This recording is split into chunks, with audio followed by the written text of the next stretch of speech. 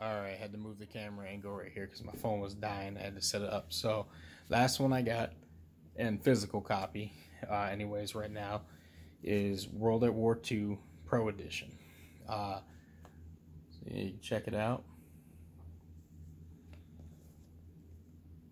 You can see Pro Edition, the back. Um, to clarify what it came with, it came with a season pass, um, collectible steel book, zombies weapon camo, uh, the Carentan map, um, Call of Duty endowment, and music soundtrack. Um, this one was awesome. It was a good game. Uh, wasn't quite World at War. I would love to see World at War remastered as World War II, or at least come with it remastered, um, or just completely redone. But uh, the storyline on this game was amazing. I, they had quite a few actors in it. The storyline was great. I'm talking like movie quality, much like the new Modern Warfare was. Just amazing, amazing storyline. Um, there's the disc right there. Nothing really special other than that. Um, and the gameplay was great on, on multiplayer. Uh, here's the inside of the the uh, case, but the gameplay was awesome. I loved it. It was very, you know, it, it brought Call of Duty back to boots on the ground, kind of for new uh, games that they were putting out, and a lot of people were happy about that. A lot of people played it. A lot of people had fun. Got a lot of good reviews. Um, it just, I felt like there was something missing, and I still can't explain what that something was missing, but um, it was good. Good maps, good stuff. Uh, there wasn't a lot of cartoony stuff in it, so if that's what you're looking for, um, there was a little, you know, it kind of blended in, but it, it was nowhere near like uh, the Black Ops games. Um, so basically, in the case, you had the, the map and the season pass. You had the digital content in here, and then of course just the licenses agreements, and that was it basically. Um, it was a really fun game. I had prestige in there. A lot of cool achievements too, I would say. And of all of them, uh, this one really gave you cool achievements for online and playing single player, playing zombies. I, I can't say enough for zombies. Zombies in this was awesome. Uh, really done well. Really creepy graphics, and that's just it too. And I'll tell you this, guys. And I know I've said this in other videos. If you got an S and you're playing that on the S, I remember when I had the S, I got it before the X came out. They said it was being enhanced. I was like, this game is disappointing as far as graphics go and frame rate and everything. It just does not look that good and play that good. I was really disappointed. I felt like Ghost all over again. Holy cow! You get an X, the the difference is way noticeable. You, I would call you Ray Charles if you try to even hate and try to say that you can't see a difference. It is amazing. So that was a really cool game to check that out and see the difference. It really made the whole game come to life a whole different way. So I suggest if you're looking for a World War II one, uh, that's the one to go for. So out of all the Call of Duties out right now and all the ones I played, and I've been playing since number one on PlayStation, here's my picks. Out of the Modern Warfare series, I would say Modern Warfare 2019 hands down. And I would say that is the best COD out there that I, in my opinion, out of all of them. Runner up to that one would be Modern Warfare Remastered. That is done really well. Um, I liked it a lot. Then I would say out of the whole Black Ops, I would say Black Ops 1. Honestly, Black Ops 1 or Black Ops 2 was really close, but for me, Black Ops 1 is more the realistic, more um, boots on the ground style, and the maps were just iconic, and the music was just iconic, and the, the gun sounds, and it was just it played very well. Um, if you're looking for a world uh, World War or World World War One or two, let's just say that. Um, Call of Duties, I would have to say, because of the new age and the graphics and everything, World War Two would be um, would be the one to do.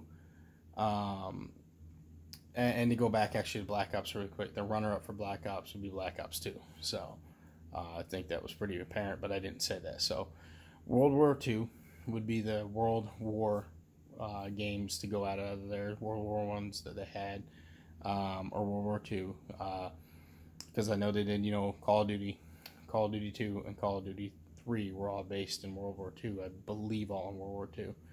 Um, I would say Call of Duty World War II was the best one to go for for that hands down, and right up very very close runner up. It's all hacked out now. I mean, if they could do a fresh reboot of it, it would put World War II. It'd run into its paces, even just being a remastered. I think World at War was really good. Uh, follow that one up with if if you you know are looking for more of a one that's just uh, the redheaded stepchild, but a good redheaded stepchild is Ghost. Ghost is completely kind of different and and is is different in its own way. Very good, uh, very enjoyable. I kind of hope they make a sequel to that. Um, if you're looking for the OG ones out of Call of Duty 1, 2, and 3, and 4, um, I would say 4, Call of Duty 4, you know, Modern Modern Warfare, the very original. Um, and runner up to that one. As far as when they stopped doing the numbers uh, runner up to that one would be call of duty 3 uh, that was probably the best out of the older ones. They were although that's if you go back and play those and you play them on the x they're a little bit better um, but you got to remember that's when call of duty was in its infancy. It wasn't really into call of duty 4 that they really made something that really stuck and opened the door. Um, now so, if you want to go to the Titanfall crazy jumping, just nut job shit that, that I was like, holy cow, that just to me didn't, you know, didn't belong in there again. But I thought it was, and don't get me wrong, I thought that that stuff was awesome Titanfall. I thought it was great in other games that it belonged in, but it to me it just didn't fit Call of Duty. Um, but anyways, if you're a fan, so let's say between I already covered the Black Ops, but we'll we'll put Black Ops three and three in there at least because four kind of went more towards, you know, a little bit closer towards the boots on the ground style. So I would say out of Advanced Warfare, Infinite Warfare, and Black Ops 3 of that really heavy style when everybody was pushing that out like crazy. I'd say Infinite Warfare is probably your best bet. You know, if you got an X, you're gonna get the better graphics. Uh, it, it's smoother, it's done better, and uh, was run. I would say it runs. I don't know, just crisper, and the storyline was was really good. Um, Nothing's advanced storyline was really good. So runner up, I would probably say. I'd probably say Advance. A lot of people are gonna hate me for that too. I think Advance was better than Black Ops uh, Three, but when they did the Zombie Chronicles and Black Ops Three, if you're a zombies guy and you like the zombies and all the old, I I would have to say maybe yeah better in Advance because of Zombie Chronicles. Um.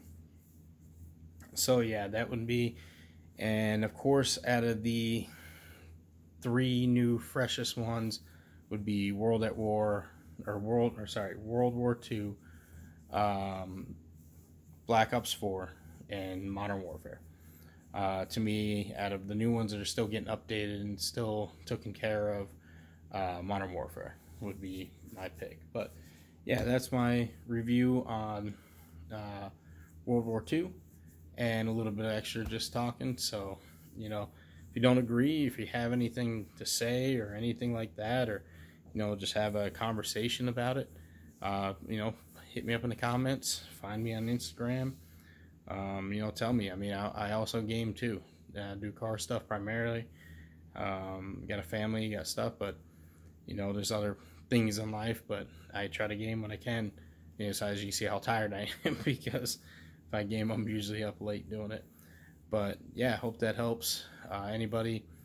Um, like I said, it's just a short review. It's not me playing. It's not really going in depth to, to straight down to the frames a second or, you know, what character died when here that stuff you can all check out yourself. More so just the unboxing and kind of uh, my view on it. And with the new Modern Warfare, I'll probably doing a lot more of actually videos and you know going in depth in it. So